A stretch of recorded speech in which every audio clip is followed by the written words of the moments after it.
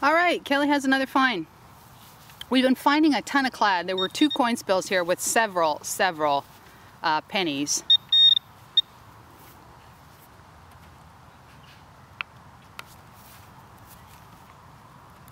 Oh, oh, oh, hang on, hang on. Hang on. Mm -hmm. Is that silver? Looks like it. Okay. Oh, no, no, no, no, don't, don't, don't, don't.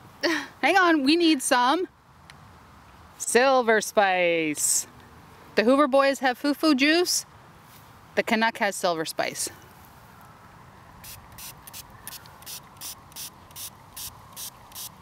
Oh yes, it's silver.